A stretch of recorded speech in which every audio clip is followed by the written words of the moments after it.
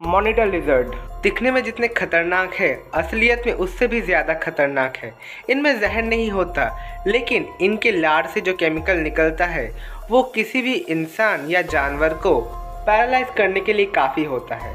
लेकिन क्या आप जानते हो, इनका शिकार करने का तरीका थोड़ा अजीब है। ये बहुत दूर से और बहुत समय तक अपने शिकार के ऊपर नज़र रखते हैं और छोटे जानवरों को ये अपना शिकार बनाता है। इनके मुँह से निकलने हुए केमिकल अगर किसी के खून में मिल जाए तो उस जानवर को कुछ ही देर में लकवा मार जाता है और कमोडो ड्रैगन आके उसको ज़िंदा ही खाना स्टार्ट कर देता है। तो ये फैक्ट जान के आपको कैसा लगा, लिखिए चैट सेक्शन में और हाँ please like share and support thank you